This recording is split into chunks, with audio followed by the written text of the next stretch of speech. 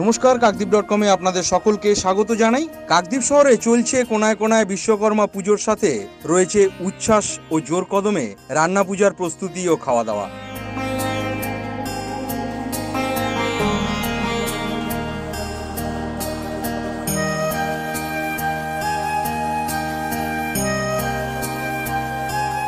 পশ্চিমবঙ্গের বিভিন্ন শহরের মতো কাকদ্বীপ শহরেও রয়েছে বিভিন্ন ছোটখাটো শিল্প। সেই শিল্পকে ঘিরে এবং সেই সঙ্গে কাকদ্বীপের বাস স্ট্যান্ড, টোটো স্ট্যান্ড, অটো স্ট্যান্ড বিভিন্ন জায়গায় এবং ইঞ্জিনিয়ারিং শিল্পের যে সমস্ত কর্মস্থল রয়েছে, সব জায়গায় আনন্দের সঙ্গে পালন হচ্ছে বিশ্বকর্মা পুজো।